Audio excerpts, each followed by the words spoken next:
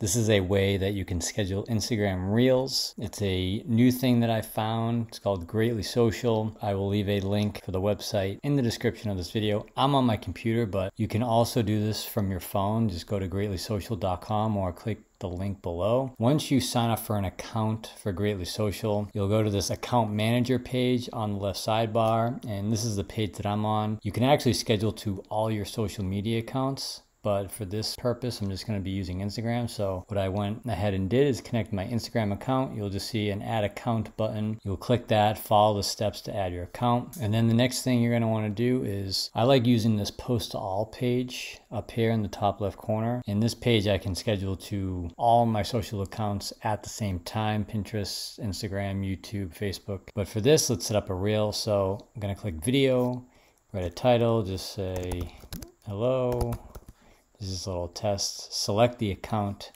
I'm going to import a file from my file manager that I already have uploaded. So let's go ahead and use this one. And uh, let's go ahead and click schedule. And I want this to go out tomorrow at 6 o'clock p.m. And click schedule. Content has been scheduled.